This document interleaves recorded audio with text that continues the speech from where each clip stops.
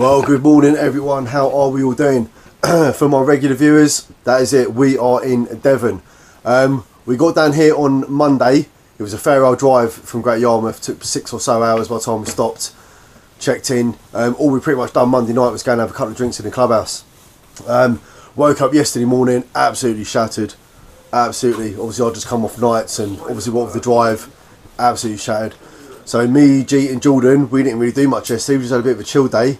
Lee, Tubbs, and Paul, they went to a beach just past Babbacombe. Uh, they fished for a few hours. They caught absolutely nothing. they caught zero. So our plan today is we're going to be fishing Princess Pier, I believe it's called, opposite the Princess Theatre House, which is actually on the main seafront bit in Torquay. Tackle shop opens at nine o'clock. It's currently about half eight, something like that. So we're just getting our bits ready. We're going to go tackle shop, get some bait. We're going to get on the pier.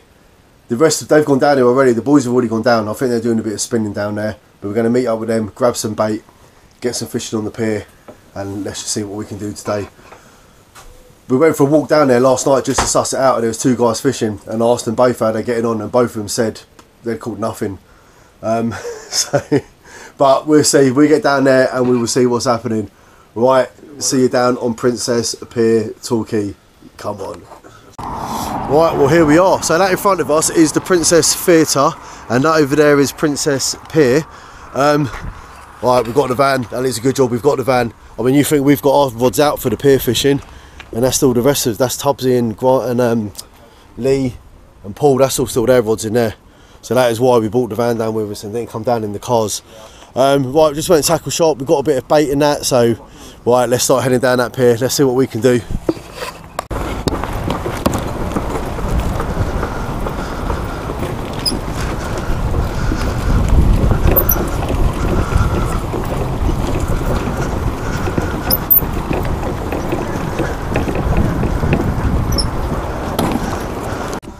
Right, just arrived out. So we're on the Princess Pier. There's quite a few anglers down here already, though.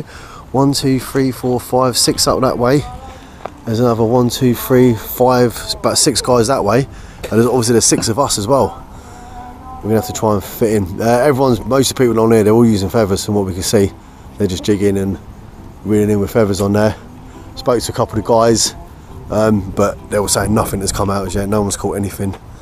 But we'll see what we're doing. So I've got brought two rods down. I've got a lightweight one here, and I've got my telescopic rod. I want to get a little float fish on one and just throw a float down there, and then the other one I'm going to put some feathers on, throw some feathers out and reel in, and we'll see how we get on. Well, that's it. We'll start ready for our first cast. Um, I'm just going to start with the float fishing for now and see how we get on. I've put a, I'm not really expert on the float fishing, so I'll just sort of put it together how I think it goes together.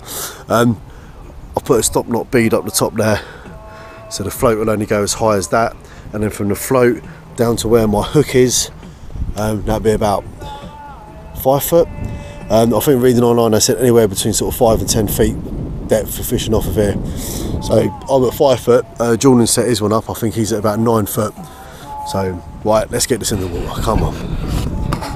Right, we're out there. I don't know if the camera's going to pick it up, but my float is just out there. I'm I don't know what, 10 yards from the side, 15 yards from the side. All to do is watch that float and hope it goes straight under the water. Um, loads of little fish all swimming along the edges here, tiny, tiny little little fins. And then just now, I don't know what it was, but someone shouted something from up there, and apparently there was a big fish swimming along the edge there. So I'm not too sure what that was. Um, tide flow don't seem to be too quick because the float is just sort of sitting there.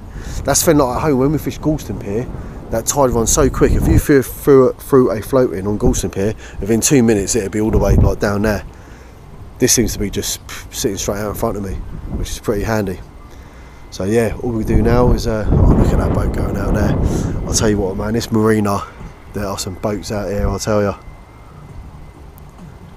We've got a marina bit right behind us. So when you're fishing Princess Pier, they say you can't fish this side. Anywhere off here, you can't fish in the marina. You're only allowed to fish casting out over to the side of the sea. But yeah, we'll leave this out for a few minutes, see what happens. I'll take a walk up in a bit. I'll go and speak to um, Lee and that lot, see how they're getting on up there, see what's happening. Yeah, see how we get on. Well, word has it that Lee had a mackerel, but he got off right on the end. You have, nah, you actually getting it up out of the water.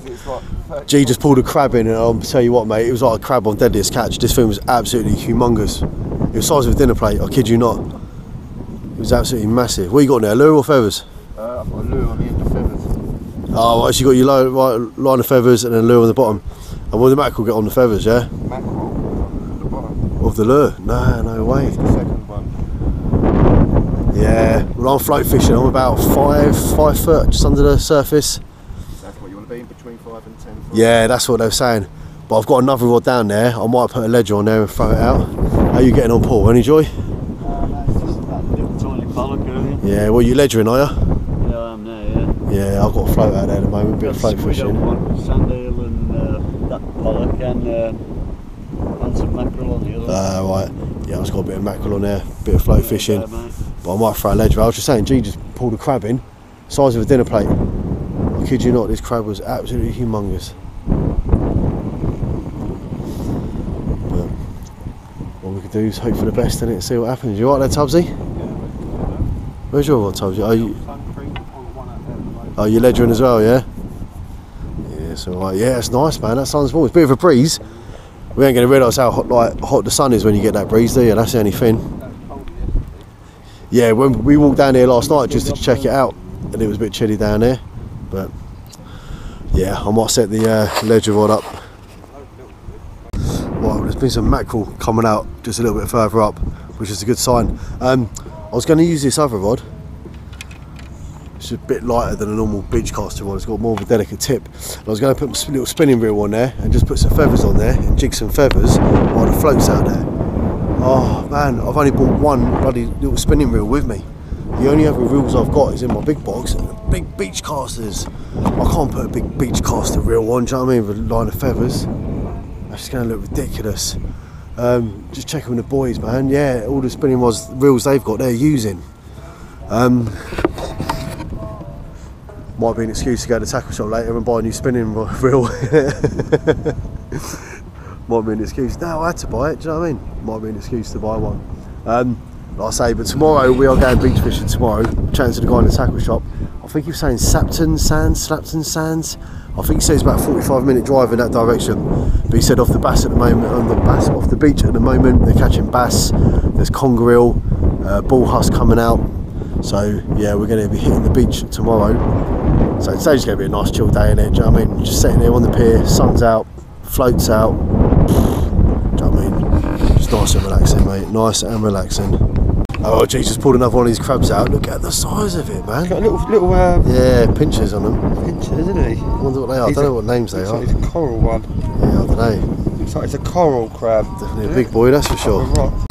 Well, we've been fishing down here now. Two hours we've been down here fishing, and it's absolutely dead. Absolutely ridiculous. And there must be, I don't know, 30, 40 anglers down here. There's got to be. There's got to be 30, 30, 40 people fishing. And all I've seen come out is that one mackerel down there. And like I say, Lee was onto a mackerel, but yeah, it come off as he was rearing it up. Other than that, that's the only fish I've seen. Absolutely crazy. Um, yeah, the guy in the tackle shop, he was saying about Slapton Sands. We've just had a look on Google Maps. Slapton Sands is an hour away from here. So yeah, we're debating. Um, our park, we've only got parking until two o'clock. So we've only got like a couple of hours left anyway.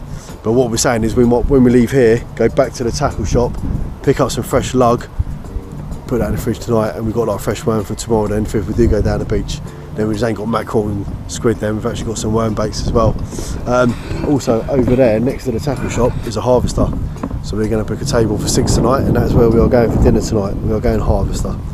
Right, it's going to be a short video, but let's crack on with the fishing. Well, we were just saying up high right now, dead it is, and absolutely nothing coming out. And Lee has pulled himself out of mackerel. He's, oh, he's a fair sized mackerel as well, Lee. Go boys. Oh, look, it's one for your species, hunt. He's a fair size, mate. Look at that. Nice look as well, man. Nice one, Lee. Wicked. Well done, mate. On your lure. Wicked. Well, we were just saying we're going to fish about another half hour. So I think we've done about three hours, three and a half hours, three hours. And like I say, apart from Lee getting out, um, he called out on a wedge. He had a, he's got feathers. And instead of putting a weight on the bottom, he's put a metal like, wedge on there, which he's using as the weight. And that's what the mackerel jumps onto. And the one that jumped off the hook earlier, that was on the metal wedge. So that's what I might do for the last half hour. I might just cut this where the swivel is, leave the float set up so I can set up for another time. and just tie a wedge on the bottom and just throw a wedge out for the last 15 20 minutes see if we can get something out that way right that is it we're done we're just calling it the end of the day now had that uh, mackerel out I'll put a wedge on there for a while spinning it in nothing's coming out um, yeah, very quiet really. And like I say, I have all these fishermen. I think Lee and a guy down there, they're the only two people I've seen put a fish out. So yeah, we're to take the rods of that back to the van. We're to walk around to the tackle shop, get some fresh lug for tomorrow. We're going to go harvest up. We're going to book ourselves a table for that tonight.